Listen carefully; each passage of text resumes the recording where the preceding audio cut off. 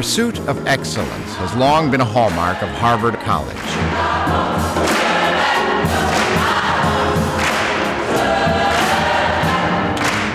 Since its founding in 1636, the college has combined promising students and distinguished faculty in a community that stimulates and inspires its members to develop their talents to the fullest.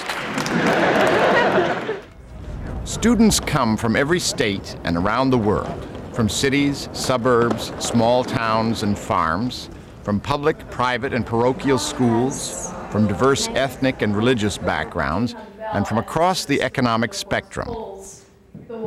Something I think is important to stress is just how many different niches there are at Harvard, how many opportunities there are to discover different parts of yourself or to find a place where you can feel comfortable. I think for me the biggest part of choosing a college was was asking myself where will I be able to find a place for me? Will I feel comfortable here? And I'll let it go swinging.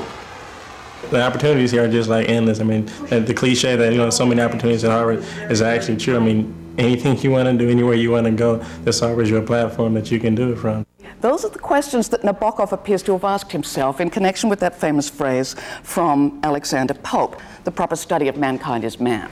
Glorious piece of poetry on page 146.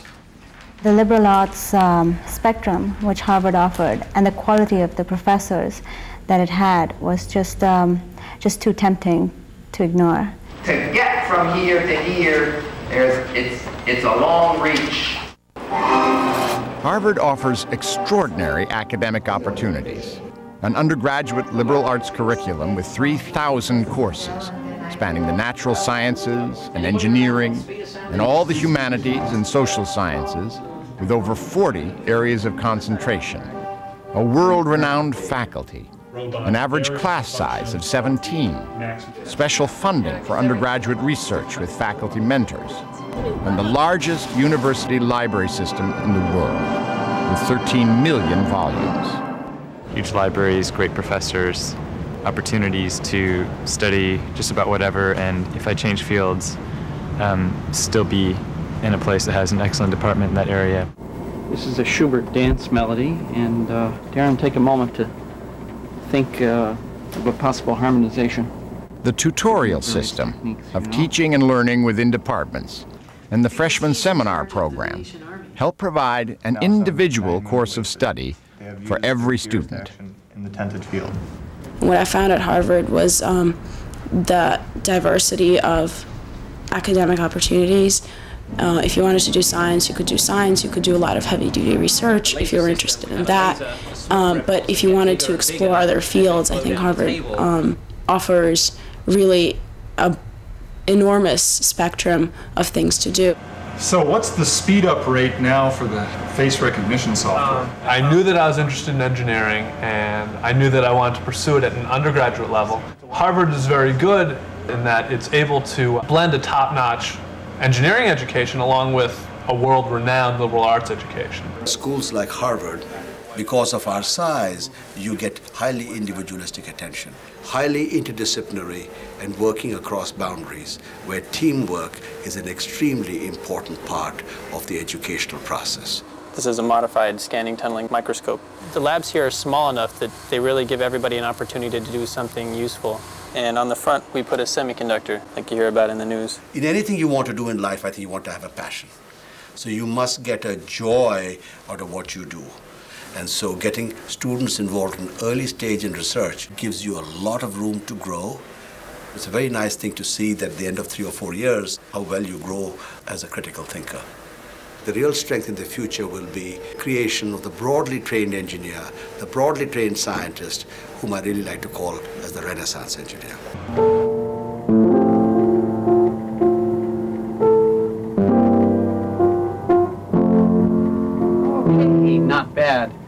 The tutorial system, class size, and faculty interaction create an intellectual climate rivaled by few institutions. Come to my office hours afterwards. That's the way. This semester I took a history class called Early American Exploration and Enlightenment, and there were five of us in the class, plus uh, uh, Professor Susan Lively. I went in casually to her office to drop off a paper. She saw me and she says, Oh, Dominique, please come in and sit down. So we sat down and chatted for 30 minutes about academic things and non academic things. When I started talking to her about my thesis, she rattled off a whole bunch of books that she thought might help me in preparation for my thesis. And then she continued that by emailing me more books that she found. And actually, this Friday, we're going to be going to her house for dinner. My interest has been economics and international relations. So I met a lot of eminent professors, different ministers from countries who were giving talks, and that gave me a very good perspective on my major. And so I came out, I think, not only feeling socially very happy, but also academically very satisfied with the education that I have and very confident as I move on into the world. And the college's graduation rate is 97%, among the very highest in the nation.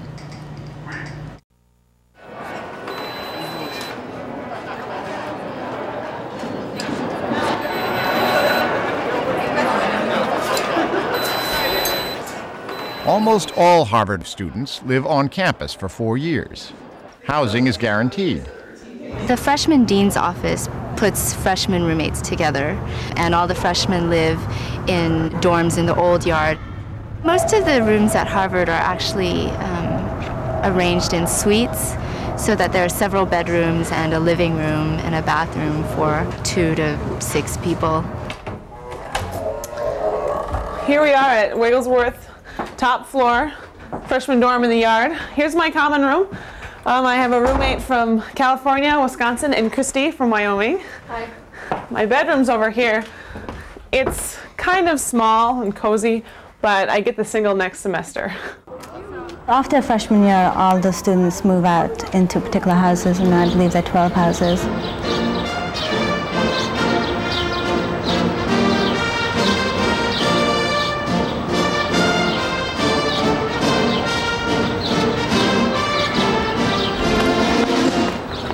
Absolutely love house life simply because it's a community of about 500 people and you're always meeting new people every day.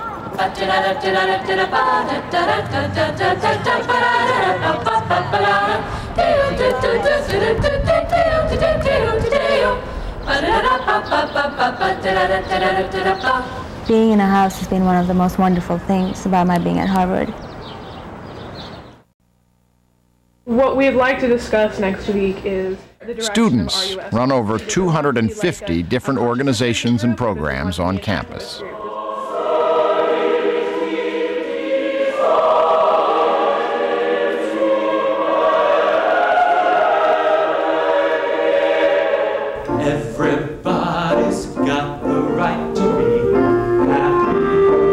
In four years at Harvard, an undergraduate can see, direct, or act in 200 musicals, operas, and plays.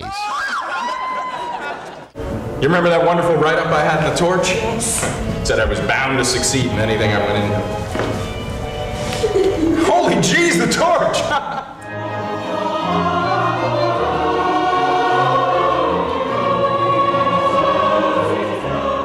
Students perform in two major orchestras.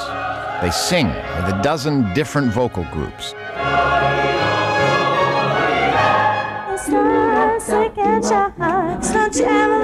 You looking starry-eyed. They'll tell you that the love is true, but they'll walk right over you. Girls, you should know these things right off of the bat. A good man. Some perform in ethnic dance troupes.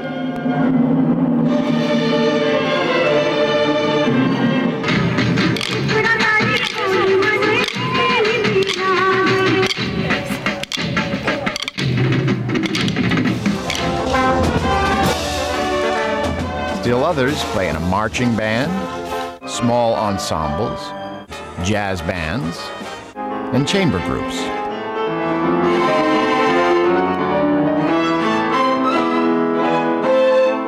The the other major news publications. In addition to publishing a daily newspaper, Harvard students produce radio and TV shows and publish dozens of papers, magazines, and books on a wide range of topics. The world has gone bad today, and good's bad today, and black's white today, and day's night today. But most guys today, that women rise today, are just silly gigolos.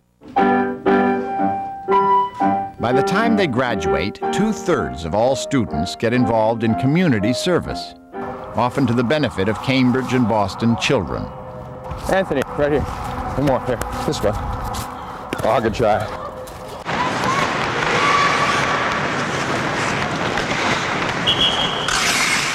Harvard maintains a tradition of athletics for all, with expansive intramural programs, top-notch facilities, and the nation's most extensive intercollegiate program.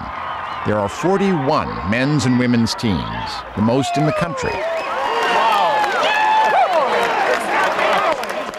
More than 60% of the student body participates in varsity, junior varsity, club, or intramural sports programs.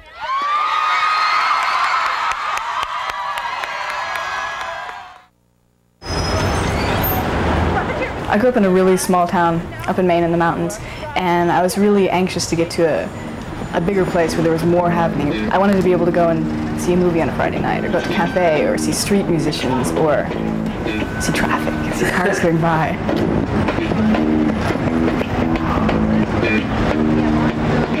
The area right around Harvard and Harvard Square is a lot smaller and feels a lot more community oriented. So I, I had no problem with the transition at all. I love it here. Only a buck. Step right up here. Progress for a buck here. I try to go out to Boston as much as possible. Being from Mexico City, I'm used to the excitement of the, the big city. So one of the things I like about Harvard is the small town atmosphere, but then you can also jump on the T and you know you're in Boston in 15 minutes and there's the big city excitement.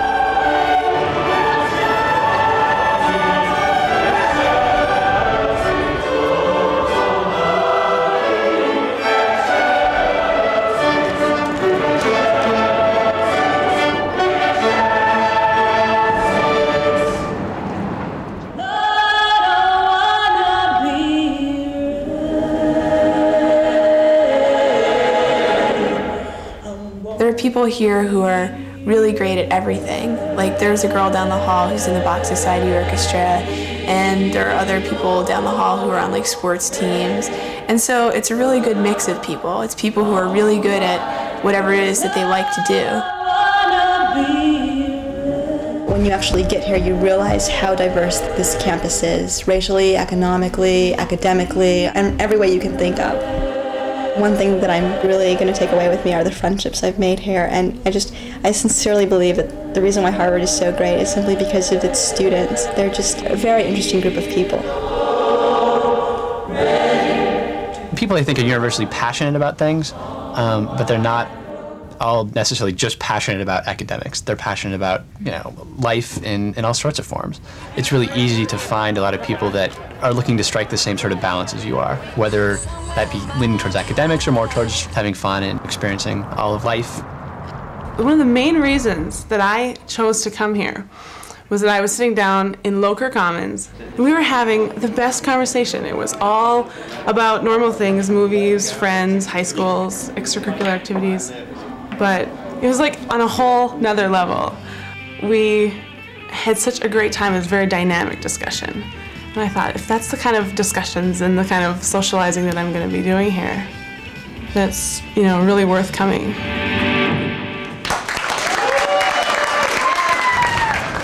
All through high school, I was intending to go to probably a, either a small college in Minnesota or one of the, the state schools. In my school, it was never really stressed that any of us would go out of state, let alone to an Ivy League. I didn't think I'd make it here, and I'm so glad I tried because if I hadn't, I would have been missing out of the experience of a lifetime.